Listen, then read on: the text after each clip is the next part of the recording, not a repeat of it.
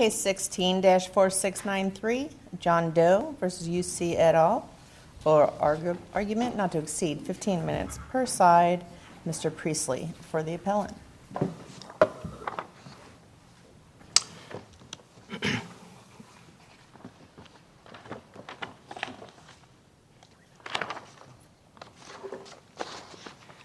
Good morning, Your Honors. May it please the Court, my name is Evan Priestle. I represent the appellants in this matter. I'd like to please reserve three minutes for rebuttal. All right. Your Honors, we're here today on the appeal of the District Court's grant of a preliminary injunction enjoining the University of Cincinnati from imposing its one-year suspension on plaintiff John Doe, a current graduate student at the university. We submit the District Court erred in three ways, finding that Doe was likely to succeed on the merits, finding that Doe established by clear and convincing evidence that he would suffer irreparable harm, and finding that the injunction was in the public's interest. Regarding the likelihood of success on the merits, this issue comes to this court in somewhat of a unique posture, as both Doe and the district court focus primarily on one aspect of Doe's student disciplinary hearing, that being his inability to confront and cross-examine his accuser at that student disciplinary hearing.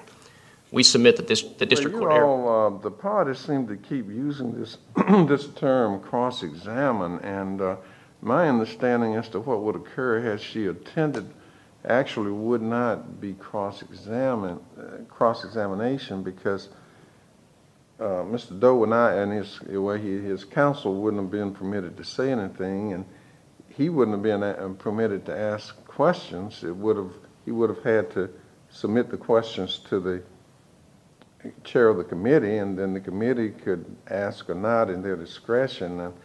So it's not really cross, cross-examination, but it's something less than cross-examination. Correct, Your Honor. I think this court in Doe versus Cummins described it as somewhat of a circumscribed form of cross-examination, and it actually held in that case, which involved the same similar process, the, the two uh, individuals that were subject to disciplinary proceeding were able to examine the, their accusers through asking questions via the, the ARC panel, the disciplinary panel, and the court, this court in Doe versus Cummins said that that meant constitutional due process requirements. So we keep using the, phrase cross-examination, but it is somewhat of a circumscribed form of cross-examination that would actually occur at the ARC hearing. Was Mr. Doe advised in advance that the complainant would not be attending the hearing?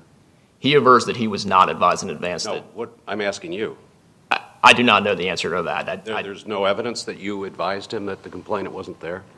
I, I, I, I'm not aware of any communication that was, that was sent to him in advance saying that the complainant said that she All right, was not the- going to attend. The rules say that if the complainant is unable to attend, that a notarized statement of the testimony may be submitted. Is there any evidence that the complainant was unable to attend? Not, not that I'm aware of, Your Honor. I'm not aware of. All why the the, then the admission of her statement violates your, your own rules, does it not? The admission of, Since, since your rules only provide if she's unable to attend, the statement may be used. the admission of the statement, both if she was, if it wasn't that she was unable to attend, and we admit that she had, she's attached or submitted a non-notarized statement, which was also. violates your rules as well. It does violate does violate the, the university's rules, but the issue here is whether or not he was afforded constitutional due process. Well, as this that- court okay. as this court acknowledged You your rules were violated. in at least one aspect via the non-notarized statement, we can see that the, the rules were violated in that in that instance. All right, and no evidence that she's unable to attend, she, whatever, for whatever- whatever reason, she doesn't show up. Correct. This surprises him, so he does not have written questions in advance.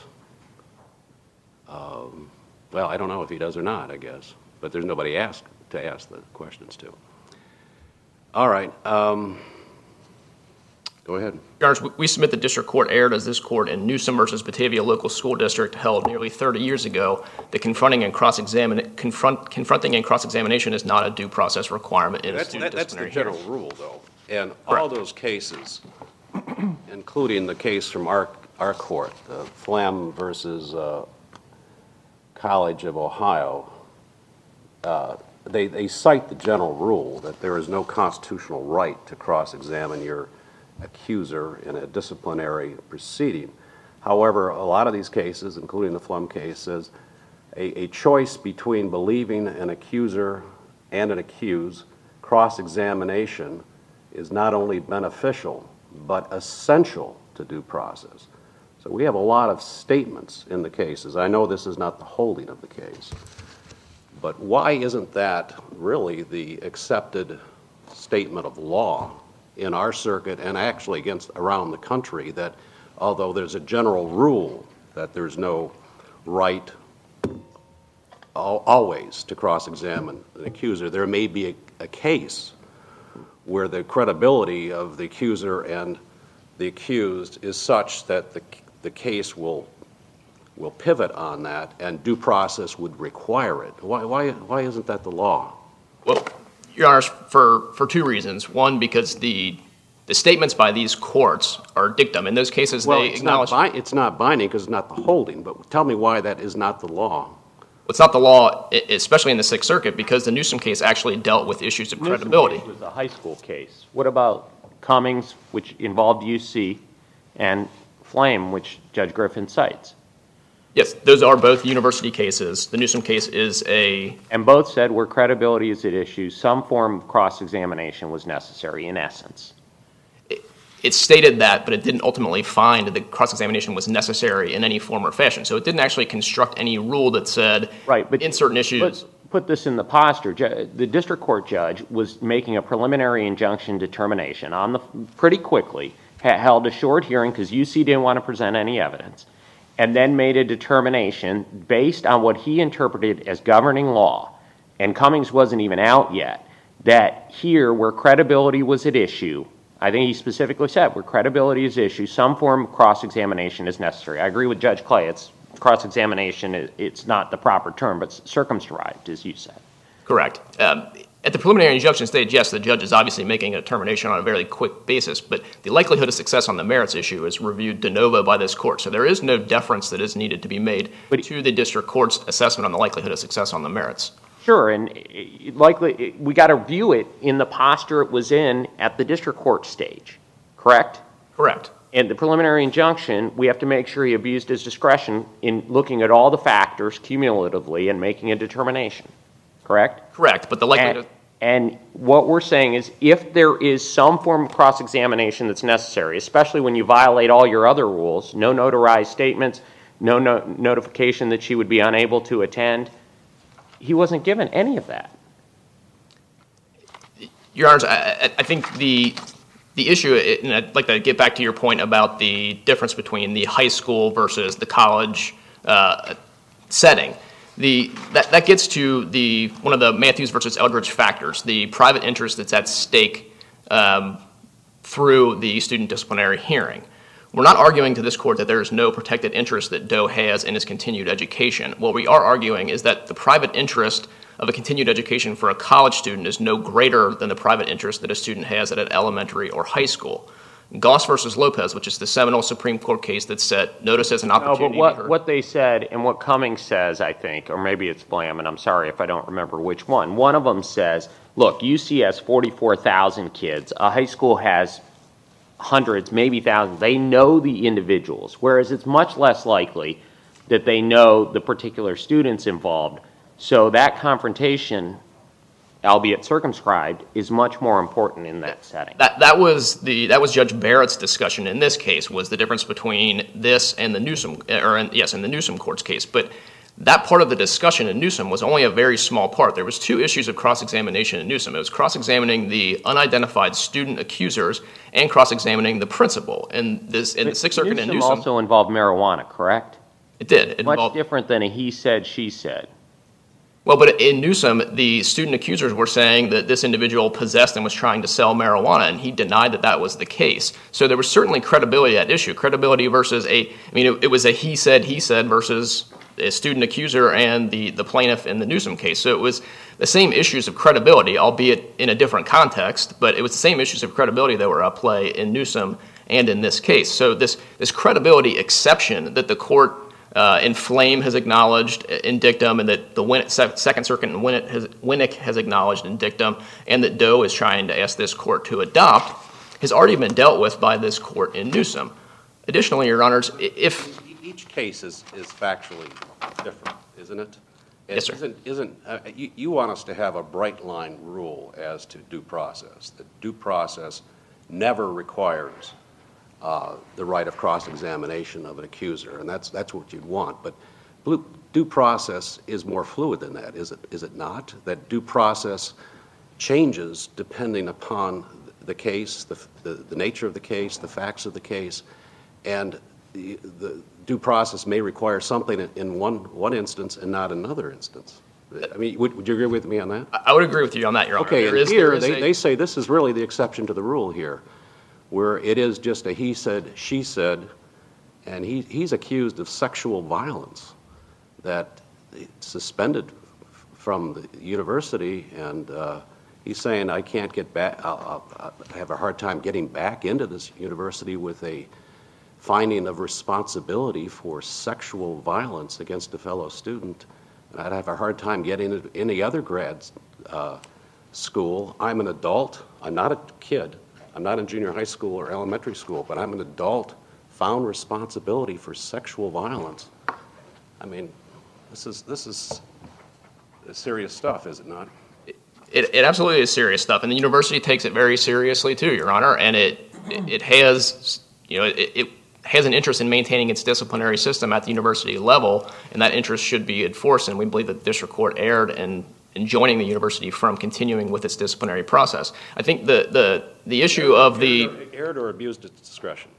it abused its discretion ultimately in granting the preliminary injunction. That's, our- standard of review, uh, the ultimate, the ultimate decision. the ultimate decision is abuse of discretion, but the underlying success on the merits is reviewed de novo. But we still, we submit that the district court did abuse its discretion. We just submit that the district court improperly applied the governing law and used an erroneous legal standard, both on the likelihood of success on the merits, the irreparable harm, and finding that it was in the public's interest.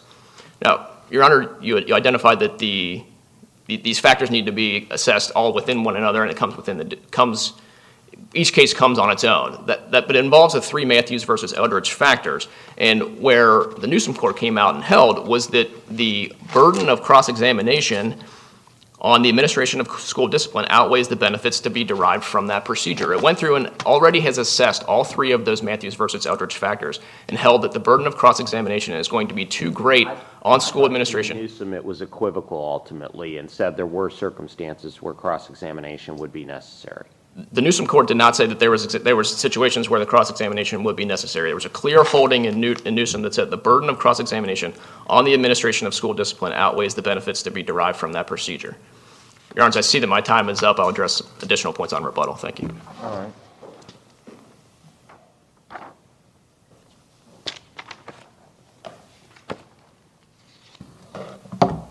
Good morning, Your Honors, and may it please the Court. The basic idea in this case is that my client, the plaintiff, may have deserved to be expelled or sanctioned by the school. But, and this is why we're here, the Constitution requires that if his behavior in some way is to be sanctioned by the school, then the state and the government and the school has an obligation to ensure the soundness of the decision um, that it reaches in this situation. And I really emphasize that word soundness because what's at heart at this case is this idea of, confrontation or cross examination.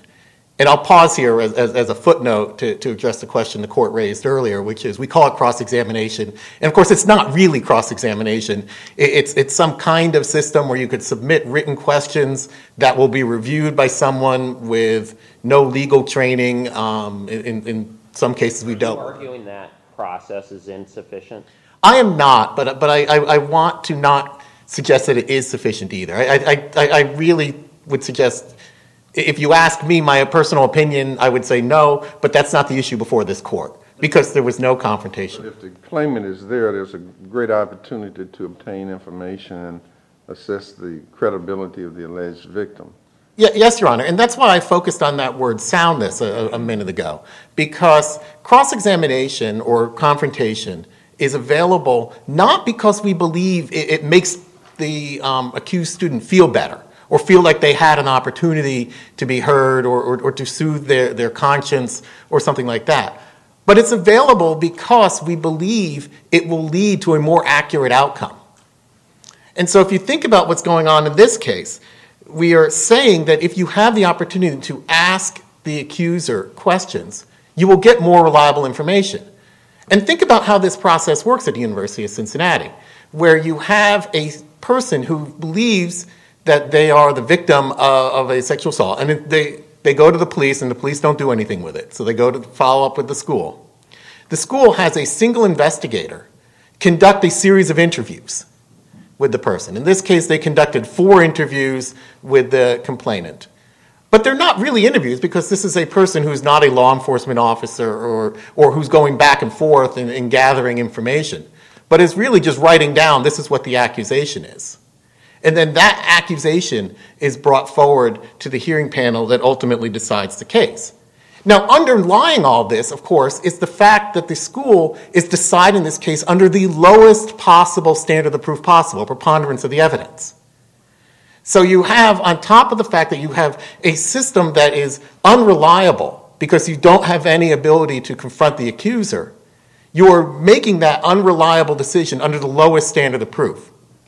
Maybe this case would be different if they applied a reasonable doubt standard or, or a substantial evidence standard or something like that, but that's not what they do. It's There's some indication in the record that perhaps the school was, in the way it conducted the procedure, was attempting to satisfy the requirements of Title IX instead of uh, perform a truth-seeking function to ascertain uh, what occurred in, the incident and what the culpability of your client might have been. Uh, could you comment on that?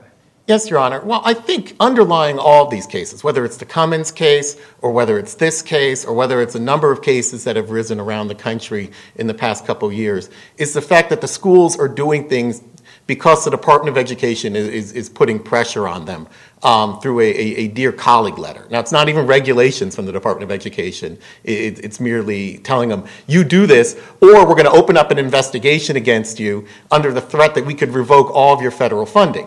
What's interesting about the timing in this case, of course, is that the complainant actually brings the allegation to the attention of the University of Cincinnati in September of 2015. University of Cincinnati doesn't really do anything with it other than talk to her for a little bit until about a week or a week and a half after they get a letter from the Department of Education saying, we're conducting an investigation into how you handle all of these cases. And if we're not happy with how you do it, we could revoke all of your federal funding. Now, the university has an obligation to um, comply with constitutional pressures or constitutional obligations, regardless of what the Department of Education in a Dear Colleague letter says to them. So, so I think to address your Honor's question, it doesn't matter what the Department of Education says to them for purposes of this case. The school still has to provide that constitutional due process and that opportunity. That, that's right, but we're not talking about a criminal trial, and the courts have been pretty clear that outside of the criminal context, what is necessary for due process is much different than in a criminal trial. Here you have a victim that's been traumatized. The university has an obligation to protect her. And what they're trying to do is that what they don't want is to subject that victim twice to essentially victimhood and make her go through that process. So why don't they have an obligation here to figure out a procedure which protects your client's rights, but at the same time protects her rights?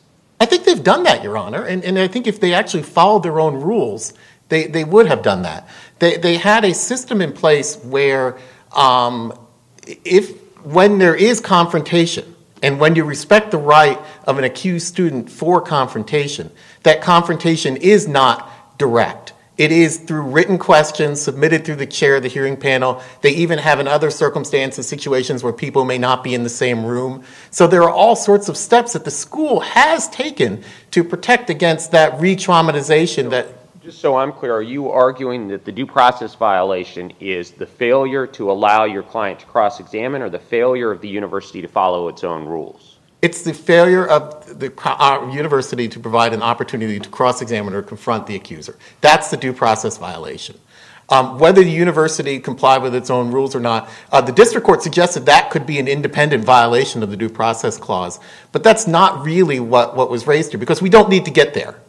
Um, I, think the, the, due process violation from lack of confrontation is there and subsumes all these other problems. You know, had the university followed its own rules, it might be a different case. Had we had a notarized statement with some reliability to it, then maybe this would be a different situation. But we don't even get there, I, I think, respectfully, Your Honor. I, I, think we just have to deal with the, the confrontation issue. Um, and, and I will, in all candor to the court, while, while the district court did suggest and cited um, a case from Pennsylvania saying that a university's failure to follow its own procedures constitutes an independent due process violation. The law on that is scattered all over the country, and, there, is, there is good law suggesting that simply the failure of the school to follow its own rules is not a due process violation. And so, If they give them what's constitutionally required, right? It could be something else, but if they give your client what's constitutionally required, it can't, under the due process clause, the fact that the university may give more, would that subject them to a due process allegation?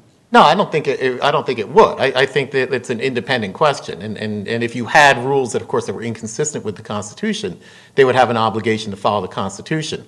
Um, I, think if you had a situation where the University of Cincinnati you wanted to claim was not following its own rules, you, might have to even bring that case into court of claims in Ohio, because essentially you're saying that this student handbook between the university and the student is a contract and the state of Ohio hasn't followed that contract, and therefore the Court of Claims has exclu- exclusive jurisdiction to, to, to deal with that. I, I know I'm getting far afield of, the, question, but I'm trying to, or, or the, the topic, but I'm trying to answer Your Honor's question as best I can. Mr. Engel, how much more time does your client have in this graduate program? He was um, at a, a year and a half um, when he was suspended. So he had, He's not suspended now. No, he's in the program. oh, yes, so he would be, he's finishing this year, he's got one more year to finish up, Your Honor. Okay, so after this year, he'll be done. Okay. Yeah, it, it's it's unusual because it's it's it's graduate school, and so he's got a thesis to finish, and, and he's got other things. So it's not like law school. If, if the suspension is upheld, what, what does it say? I mean, that the University of Cincinnati has suspended Mr. Doe for what? What does it say? He was suspended for uh, one year, and given the opportunity to reapply to. What, what, what is the, what is the, it's not the crime, but what is the violation so that it will be on his record? He's suspended. Well, you know, uh, this is a very, actually, very difficult question to, to, to answer, Your Honor, because he, his permanent record, in, other words, the documents specifically dealing with this case will indicate that he was suspended for a violation of the, uh, the, sexual misconduct policy. It would say that. It would say that, but the question is where it says that, and, and I don't want to. I don't want to mislead the court in any way. That there, there is some dispute, and I can't tell you exactly what would be like on his transcript or his permanent record or anything like that. But Somewhat important, I think. it, it, it actually turns out to be, I'd suggest, Your Honor, less important than, than you might think. The reason is because if he were to apply to another graduate program, um, or if he were to apply for a professional license, um, or, or something of the sort, he would inevitably be asked, Were you ever subject to discipline at your prior school? And then, if yes, please explain why. And he would have to explain not only that he was subject to discipline, and, but the nature of the allegation against him, which, which of course would, would be extremely damaging to his career. So, you know, he would have a finding of responsibility. That's Yes. a lot different than I was, that somebody alleged something at one point in time. A lot of people have allegations uh, leveled against them, but a finding of responsibility is- is, much, much different. yeah, so for the rest of his life, for example, if he He would have- He would have on his academic transcript a finding of responsibility of sexual misconduct against another student. I- I'm, I'm not sure, Your Honor, and this is why I'm trying to parse this very carefully. I'm not sure it actually is going to appear on his actual transcript. Uh, Different schools have different um, standards, and, and, and, and as I stand here today, I'm, I'm not sure, and it's not part of the record, what the University of Cincinnati does. But the point is, from a practical standpoint, it, it- would follow him if he tried to apply to any other graduate school or any other professional license or anything like that. I, I, I'm hope I'm, I'm not trying to dodge that question. It's, it's a very difficult question, and different schools have different I'm asking the standards. Yeah. Um, so with, with that, Your Honors, uh, I see my time is running short. If if the court doesn't have any other questions, I'll just leave it to our briefs, and thank you for your time. Thank you. Any rebuttal?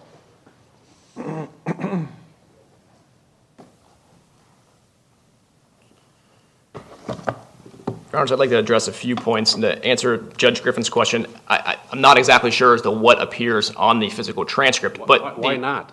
I mean, yeah, why not?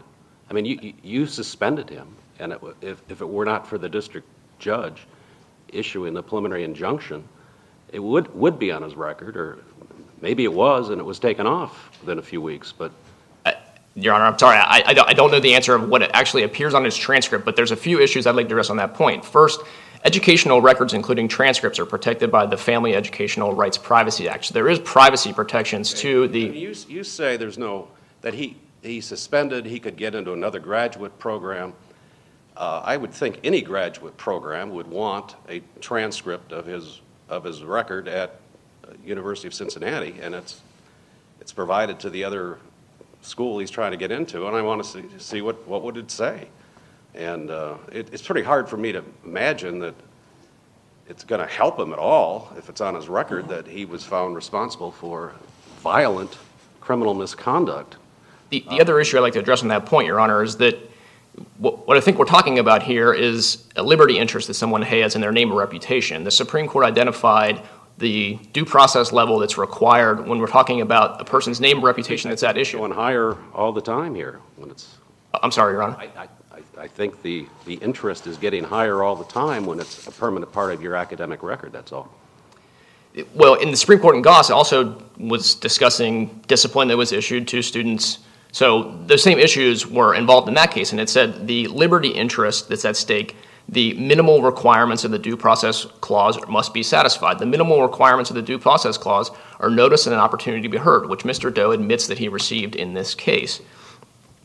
Uh, one other issue I'd like to, to, to discuss is the, the notarized statement, the failure of the university So wait. to abide by its policy. Stop there. So it, before, if the university is going to suspend someone, all you're saying they have to do is give notice that there's allegations against them, let them speak their mind, and then they can make that determination. Those are the min, those are the minimum due process requirements. And the university's position is that's all it's required to do under the due process clause? That's not, that, that- that's not its position, that's all it's required to do under the due process clause. The, the three things that the Sixth Circuit has said, there's notice, an explanation of the evidence, and an opportunity to be heard in front of a disciplinary hearing panel. The university provided all three of those things to Mr. Doe. So for those three things, that's, that's the university's position on what has to be provided for due process, and Mr. Doe admits that he received all three of those things. The one thing that he is claiming that he didn't receive was, an, was the ability to confront and cross-examine his accuser. But, Your Honors, the, the probable value of cross-examination in these cases is likely going to be minimal. In fact, if hearsay evidence is still allowed to be, Wait, the courts have said exactly the opposite. They've said when their credibility is at issue, cross-examination is critical.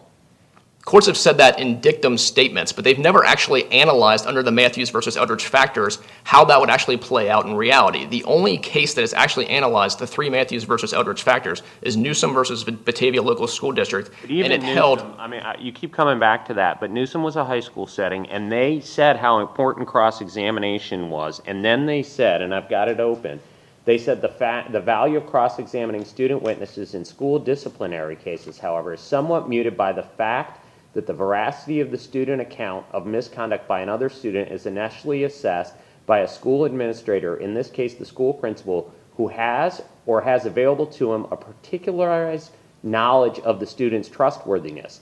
And this court has noted that is lacking in a university setting with 44,000 students. I see my time's up, but like, can I address that point, Your Honor? Yes. Thank you.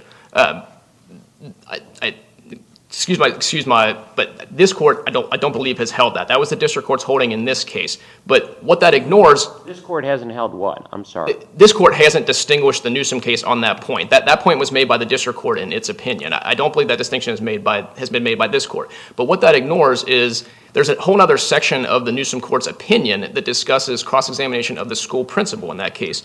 In that case, the Newsome court stated, to saddle school administrators with the burden of overseeing the process of cross-examination and the innumerable objections that are raised to the form and content of cross-examination is to require of them that which, that which they are ill-equipped to perform. And then continuing, the court said, by diverting school administrators' attention from their primary responsibilities in overseeing the educational process to learning and applying the common law rules of evidence simply outweighs the marginal, marginal benefit that will accrue to the fact-finding process by allowing cross-examination. So there's two different You aspects. have a, you have a credibility contest here. He, he said, she said. I mean, that, this is the classic example where cross-examination is the best tool to seek the truth as to who is telling the truth. I But mean, but the, isn't this? I mean, if, if there ever is a case that cross-examination is important. The mo- most, a lot of judges said it's the most important tool we have to seek, seek the truth is cross-examination. But, but cross-examination, as it arises, as it arises in the criminal context or civil courts, also has all the other procedural protections that surround the ability to cross-examine. I- And- and- I'm not going to give students all the, all the protections of a criminal trial, but when someone's liberty interest is fundamentally at issue here in such a way that uh, it seems like you need some protections. Your Honor, can I, can I address that, that point quickly? I mean, minimal, it, uh, other counsel talked about soundness of the procedure. The, the law says the procedure has to be fair. It has to be a fair hearing. It may not be a criminal hearing with all the, uh, all the safeguards, but it has to be fair. And their argument is that this just wasn't fair to Mr. Doe. But without all those other procedural protections, the, the value of cross-examination decreases substantially. Because if hearsay evidence is still allowed in, which this court has said that it is, then the value of cross-examination decreases significantly. In fact, I mean, the principal reason for excluding hearsay is because it can't be challenged. The, the veracity or truthfulness in the statement can't be challenged on cross-examination. The, the, the second point on the, the potential value of the cross-examination ignores the fact that the university has no legal mechanism upon which it can force individuals to come to these student disciplinary proceedings. They don't have subpoena power to force these individuals to come to the hearing. So if someone just ignores to decide whether the evidence is sufficient as a preponderance of the evidence. And I, I, I would think the, the fact that a complainant doesn't show up might diminish the value of the complainant's uh, statements that are not notarized. That's That- all. I, I think it goes to the balancing of preponderances. Absolutely, Your Honor, and I think it very likely did. And I think i for this court to say otherwise would be to step into the shoes of the disciplinary hearing panel that reviewed those statements. How do you say the statement is credible when you've never even seen the witness? And it's all, Because- it's all hearsay, secondhand. But we find the statement in the Title IX report to be credible. I, I don't, I don't know how you could uh, make such a finding. I, I- I think, again, Your Honor, I think that would be stepping into the shoes of the hearing panel and determining whether or not they could view something as credible, eh, even though they were the ones that would sat there. And know your time's thank you, Your Honor. All right, thank you. Appreciate it. Um, Case was well argued and case is submitted. There being no further cases for argument, court may be adjourned.